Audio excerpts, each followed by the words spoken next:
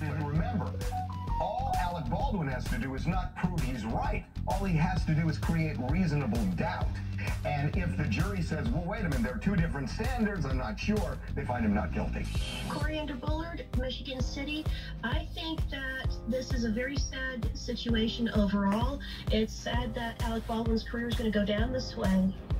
And it's also pretty sad that this movie shoot had to end in a fatality. This did not have to happen. I don't see why they had to use real bullets. They could have just CGI'd that in, and then nobody would have been killed. Well, yeah, I mean, there were never supposed to be real bullets. Right, that's the biggest mistake and, in my mind. And the prosecutor and the, and the DA said they may never know how live ammo got onto Right. that set. The reality is, one of those things, if that chain is broken, there were so many mistakes, Harvey. One of those things doesn't happen, and Halyna Hutchins No, doesn't lie. You're right. You're absolutely right. And that's the tragedy.